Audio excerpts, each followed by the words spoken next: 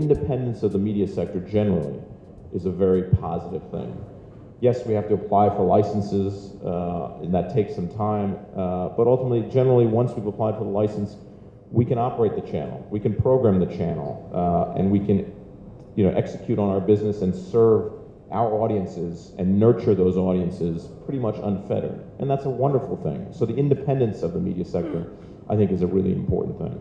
I think the digitization effort that's going on here is, you know, obviously a big, big initiative. Uh, I know there's been issues relating to the timing and the delays that have happened. I think our view is, and having seen some of the digitizations in other countries, look at it as an objective, providing more choice, more options for consumers is wonderful, and it, it is an incredibly powerful uh, goal.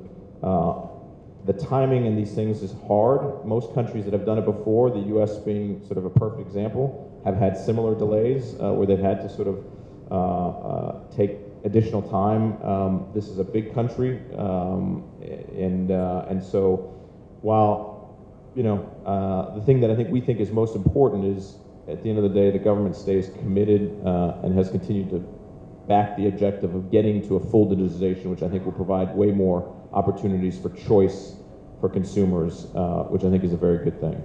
You know, we already produce uh, hundreds of hours of content uh, in, uh, in India uh, over the last several years. We only see that continuing to grow, which is producing more local content. are the formats and the content sources coming from outside of India important? Um, sure, those will continue to be core uh, in many ways, but we use a balance of those international stories with universal themes, you know, dubbed and localized to make them feel very much like a story of a person next door in many ways.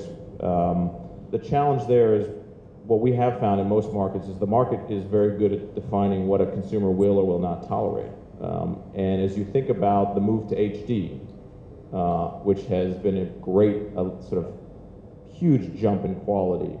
And you pay for you pay for HD. Um, if you think about multi-screen access, um, you know, then you think of another step where you're giving the consumer something they could never have had previously.